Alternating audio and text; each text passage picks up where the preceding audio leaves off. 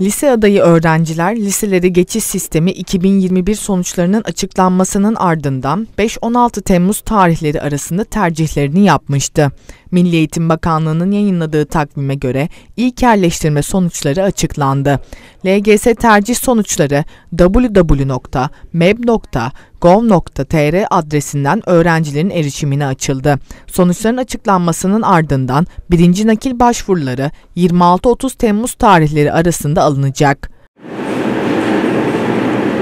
Sonuçlara göre 2021 yılında sınavla öğrenci alan ortaöğretim kurumlarında doluluk oranı %95 olarak gerçekleşti. Sınavsız yerleşen öğrencilerin %92'si 3 tercihinden birine yerleşti. Sınavsız yerleşen öğrenciler arasında birinci tercihindeki okullara yerleşen öğrencilerin oranı 2020 yılında %49 iken 2021 yılında bu oran %51'e yükseldi.